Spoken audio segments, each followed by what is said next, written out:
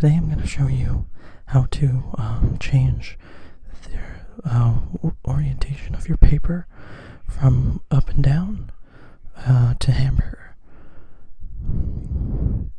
So you're going to go to Microsoft Word, View, um, and uh, there doesn't seem to be any hamburgers. I generally keep my hamburgers in a, a project palette um, just for convenience sake. I find that they're more um, convenient than a refrigerator or a grill. Um, so we just want to go to the project center because that's really the hub of operations.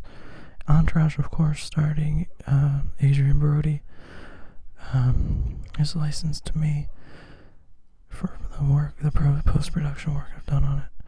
And uh, very shortly, the orientation of the page will change from uh, hot dog to hamburger. Um, now, hamburgers are um, sort of a German cuisine, and we're gonna change it from. Um, well, I'm sorry. Yeah, I, very foolish of me. Currently, it's hot dog, which is um. Shit. Hot dog. Oh, here we are. So we're gonna search it from hot dog, which is an American dish, to um, simplified Chinese, which is a uh, hamburger dish. So we're just gonna type in hot dog. Uh, my typer isn't working. Why isn't that? Okay, it's typing there. Okay. When uh, typing fails, generally the um, solution is creating clip art.